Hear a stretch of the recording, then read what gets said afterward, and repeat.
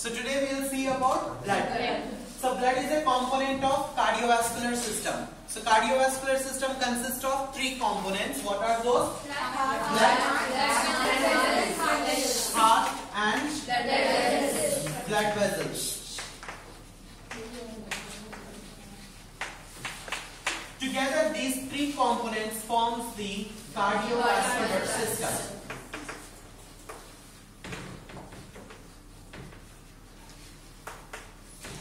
Now we'll discuss about blood. Blood is the only fluid connective tissue present in the human body. Why we call it as a fluid connective tissue? Because it has the capacity to flow. Okay. Anything which is having the ability to flow is known as a fluid. Since blood is having the ability to flow as it is flowing through the blood vessels, we call it as a fluid connective tissue. Now moving to the functions of blood. There are mainly three functions of the blood. The first function is regulation. Regulation. What do you mean by regulation? Regulation means maintaining the normal functioning of the body. How? For example, by transportation. Okay? Regulation by transportation. Transportation is again another type of function of blood. Now, hormones. Hormones are nothing but the proteins which are synthesized by endocrine glands and released into the blood. Now, blood transport these hormones to the site of its action, thereby maintaining homeostasis or regulating the normal functioning of the body. Example of any hormone you can give me? Antidiuretic hormone which is produced by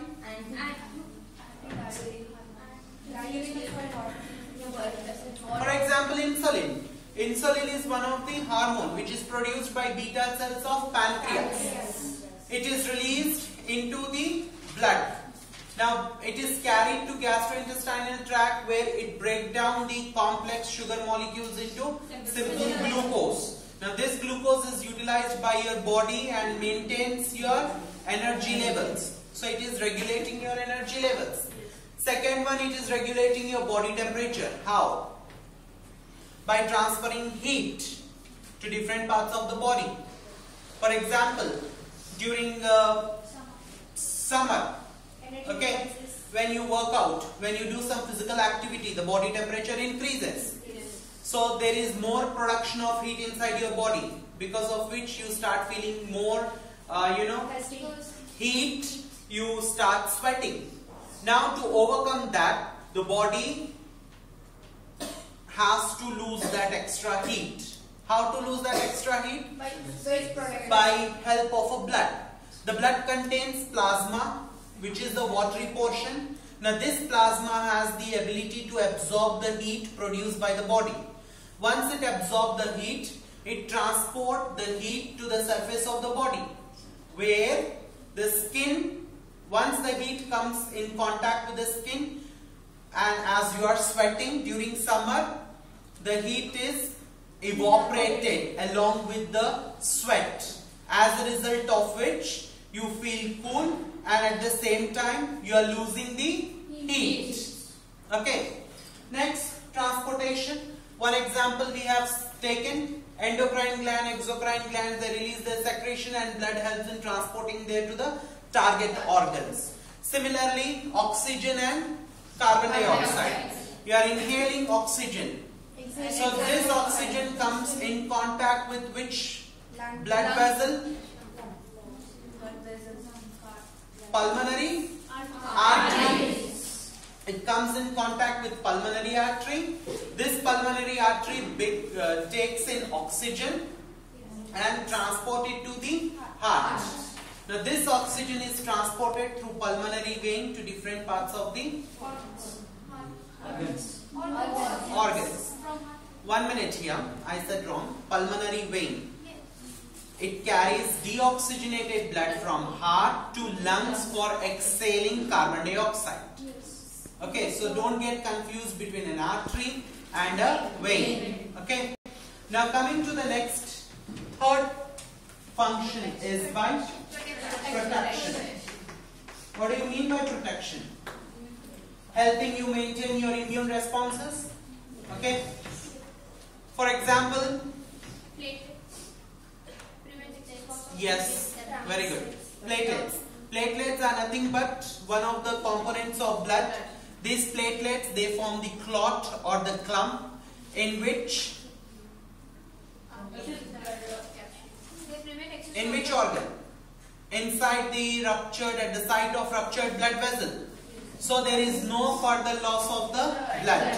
So it is preventing your body or preventing from excess loss of blood or hemorrhage, severe hemorrhage. The second one is WBCs. WBCs they perform phagocytosis and prevent the blood, uh, prevent the body from diseases and pathogens. So the main three functions of blood are regulation, protection and transportation. Okay. Now let's move to what are the different types of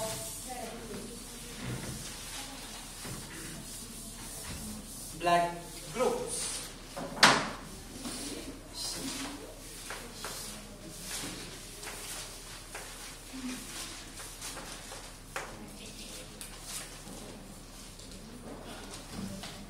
Now which cell in the blood is responsible for determining your blood group? RBCs are also known as erythrocytes. Now on the surface of these RBCs or you have a special type of glycolipid or glycoprotein which is known as antigen.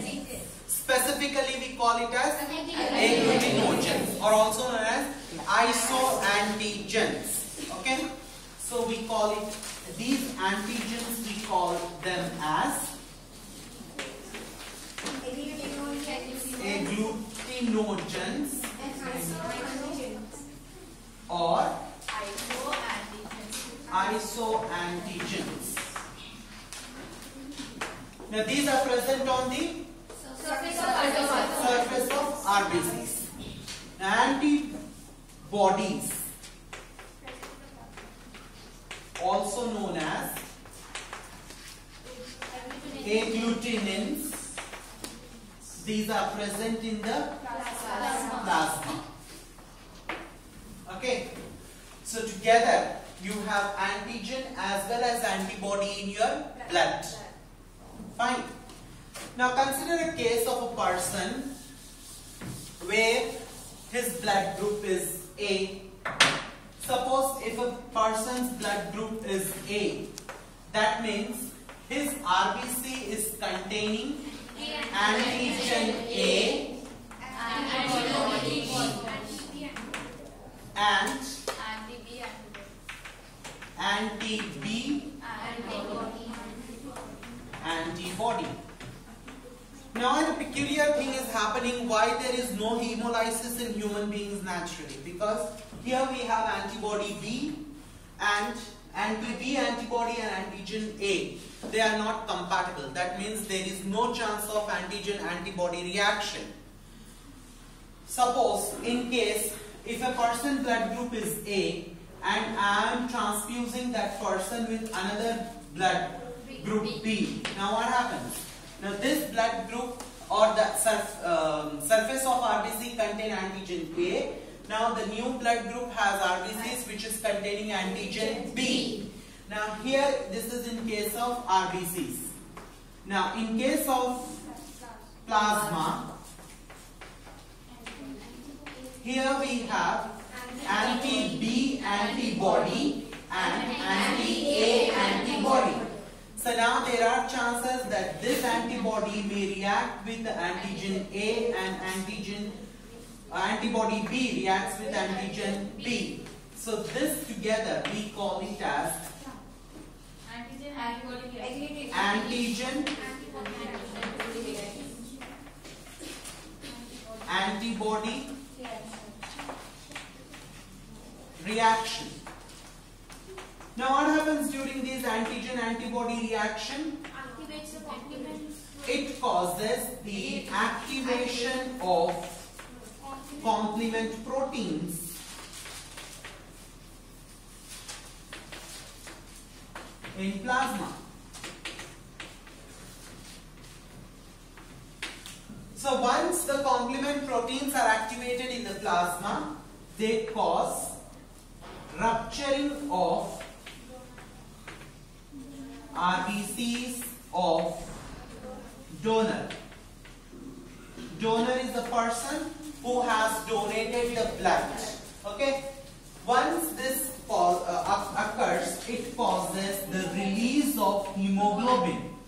Now this released hemoglobin moves to all the parts of the body, especially in the kidneys. It causes clogging of filtration membranes, whereby there is no proper filtration of blood. Okay, that's one case. That's why any technician in hospital, before administering the blood, they have to go with typing and cross-matching of the blood groups. So next topic is typing and cross-matching. Now in this typing of the blood group as we will be doing in the lab, we take one drop of blood of a recipient. Recipient means the one who is going to receive the blood from another person who is known as donor. Now here one drop of blood is taken and it is mixed with anti-serums. Okay. For example, if I take one drop of blood of a recipient, blood and I am adding anti-serum, anti-A, anti-serum. Similarly, I am taking the same person's blood and adding anti-B, anti-serum. Similarly, I am taking the blood of the same person and I am adding anti-RH, anti So anti-RH we can call it as anti-D. Yes. Yes. Now I need to check whether antigen antibody reaction has taken place or not. How to check it? Just by visualizing the blood, we can simply say that any clot formation has taken place or not. If there is formation of a clot or clump in the blood, then we say that yes, antigen antibody reaction has taken place.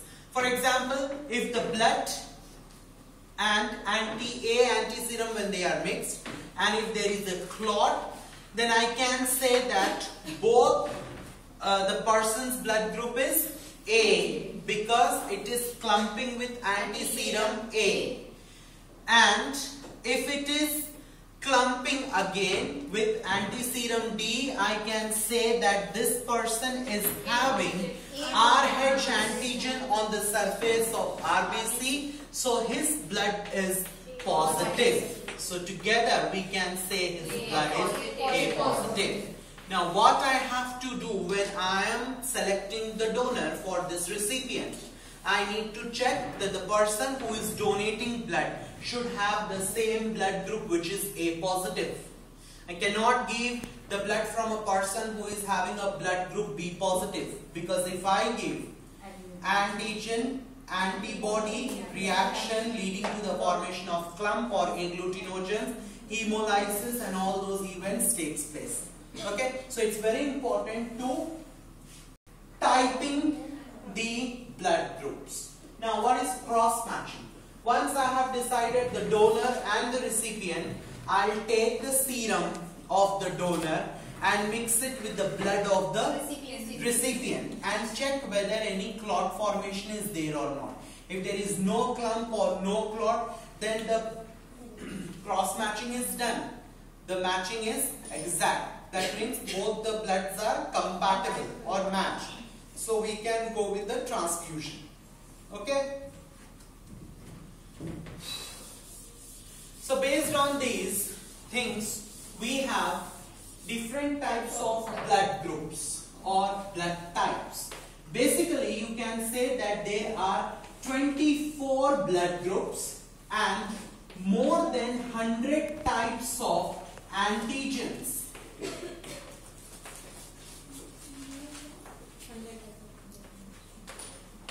on the surface of RBCs. But we are not discussing this because we are concentrating on two major blood groups which are RH blood group and ABO blood group. Now when you are considering ABO blood group, please remember there are two types of antigens which are going to be present on the surface of RBC. Those are our antigen A and antigen B. So if a person's RBC contain only A antigen, then the blood group is A. A. And if there is only B antigen, then the blood group is B. B. And if there is both A and B antigen, then the blood group is AB. And if there are no antigens, then the blood group is O. O. Okay. So this is based on the ABO blood group system. Now coming to the RH blood group system, there is a special antigen which is known as RH antigen which is present on the surface of RBC. Okay. Now if this antigen is present and if you expose it to an anti-RH antibody then there is clump. Okay. Then if there is a clump, you can say that the person's blood group is RH positive and if there is no clump then it is RH negative. Now combine both the systems. Here if a person's blood group is A, that means on the surface of our RBC there is antigen A is present. And if it is Rh positive, that, that means along with antigen A, there is antigen Rh. So the person's blood group is A positive.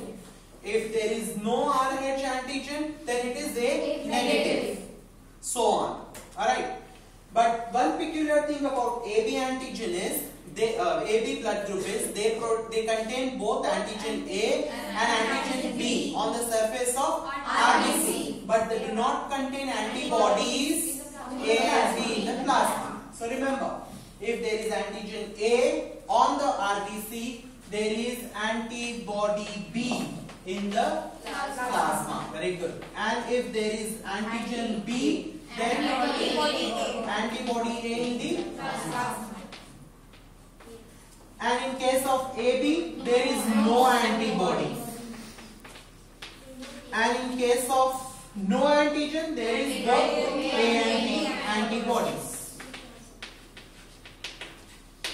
Now, if I give a person with A and B blood group, if a person is having blood group A and B, he can receive the blood from both A and B. So they are called as universal recipients because they don't contain antibodies. So there is no means of reaction between antigen and antibodies. And here the blood group O, why it is called as universal donors? If any person is having blood group O, he is called as universal donor because they don't contain antigens. So there is no point of reaction between antibodies. Fine? Everything is clear? Now why we call it as RH blood group? Because of the presence of RH antigen and the other name is rhesus monkey. The antigen was first discovered in rhesus monkey because of which it is given RH blood group. What are the other types of blood group? Kidd blood group, Kell blood group, Lewis blood group. There are different blood group systems, but the two major blood groups are ABO. Okay. So before transfusion, you need to go with blood matching and blood typing. Okay. So everything is clear or anyone is having any doubts? No. So let's stop it here. Yes. Now you want me to continue?